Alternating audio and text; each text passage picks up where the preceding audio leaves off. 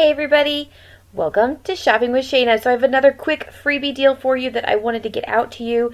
This is occurring between December 1st through the 14th of 2021 and I am super excited about this icy hot deal. Um, so before we get going and check out this deal, make sure you hit the subscribe button, ring the notification bell, and hit all so you don't miss any of my freebie deals that I put out there, especially these quick freebies. Because as we all know, we're heading to the store here and there. You want to know about these right away. You don't have to wait from video to video, those big giant videos, to have to catch these freebie deals. So that's why I'm getting them out there for you. All right, let's check it out.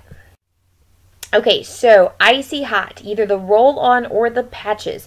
They're regularly priced $7.49 to $7.99, but they're on sale this week for $6.79 each. They're also a part of the mega sale, so they're going to be $5.79 when you buy five or more participating items in the mega sale. So if you do grab this deal, you are going to have to find four other mega sale items to get that price. So we are going to pair that with the two off one digital coupon that is available for you. So make sure you load that digital coupon. You're going to pay just $3.79 for this product and then you're going to submit to Ibotta for $2 back on one. It's a limit of two times. And also make sure that you have loaded your Kroger cash back for two back on one. So that's going to be $4 back, making this deal completely free.